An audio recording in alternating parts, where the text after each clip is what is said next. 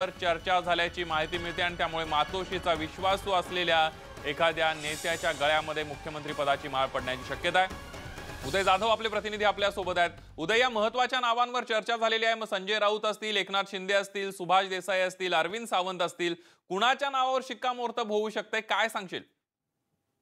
संदीप आपण जसं इथं ब- बैठकीमध्ये अनेक आमदारांची देखील प्रतिक्रिया घेतलेली आहे. त्यावर त्यांनी अधिकृतरित्या सांगितलं आहे की शिवसेनेकडनं जर मुख्यमंत्री होत असेल तर स्वतः शिवसेना पक्ष म्हणून उद्धव ठाकरे यांनी मुख्यमंत्री व्हावं. मात्र उद्धव ठाकरे यांची स्वतःची तशी इच्छा नसल्याचं समोर येत आहे. उद्धव ठाकरे यांनी सांगितलं की जे शिवसैनिक असेल त्यालाच मी मुख्यमंत्री करेन. आणि त्यानंतर उद्धव ठाकरे यांच्यानंतर जर कोणाचं नाव सर्वाधिक चर्चेत असेल तर ते विधिमंडळ गटनेते एकनाथ शिंदे यांचं नाव चर्चेमध्ये आहे.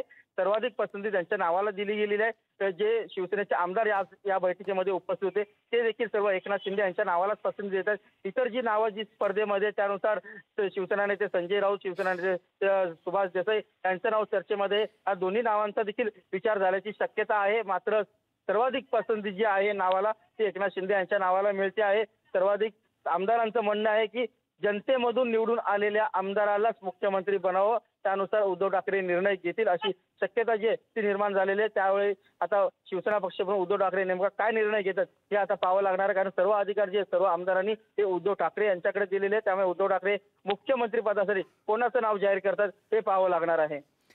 अगदी. उदय धन्यवाद तुम्ही दिलेल्या संपूर्ण माहितीबद्दल आणि या सगळ्याचे अपडेट तुमच्याकडून जाणून घेत राहणार आहोत.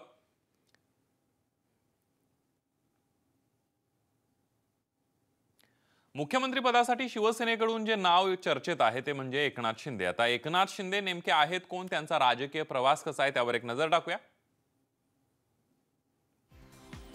एकनाथ संभाजी शिंदे ठाण्यातील रिक्षा चालक ते शिवसेना विधिमंडळ नेता असा त्यांचा राजकीय प्रवास आहे.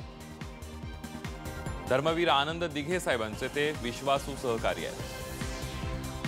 पंधरा वर्ष शिवसेनेचे शाखा प्रमुख आहेत. ठाणे महापालिकेमध्ये एकोणीसशे सत्त्याण्णव साली ते नगरसेवक झाले. दोन हजार एक ते दोन हजार पाच पर्यंत सभागृह नेता म्हणून त्यांनी काम केलं. सन दोन हजार नऊ मध्ये जिल्हा संपर्क प्रमुखपदी त्यांची नियुक्ती करण्यात आली. विधानसभा निवडणूक दोन हजार चार दोन हजार नऊ दोन हजार चौदा आणि दोन हजार एकोणीसमध्ये प्रचंड बहुमताने ते आमदार म्हणून निवडून आले. दोन हजार चौदा मध्ये महाराष्ट्र विधानसभा विरोधी पक्षनेतेपदी त्यांनी काम केलं.